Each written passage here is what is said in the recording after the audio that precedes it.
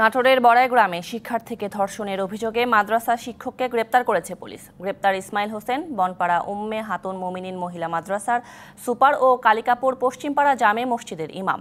বিকেলে মাদ্রাসা থেকে তাকে গ্রেপ্তার করা হয়। পুলিশ জানায়, গত তেইশে ফেব্রুয়ারি মাদ্রাসায় একা পেয়ে এক শিক্ষার্থীকে ধর্ষণ করে ইসমাইল।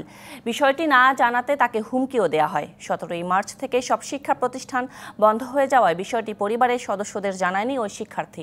সম্প্রতি তাকে মাদ্রাসায় যাওয়ার জন্য বলা হলে অস্বীকৃতি জানায় ওই শিশু। এক পর্যায়ে বাবা মাকে ধর্ষণের ঘটনা জানায় সে। এরপরই মেয়েটি বাবা বাদী হয়ে বড়াইগ্রাম পুলিশ তদন্ত কেন্দ্রে অভিযোগ করেন।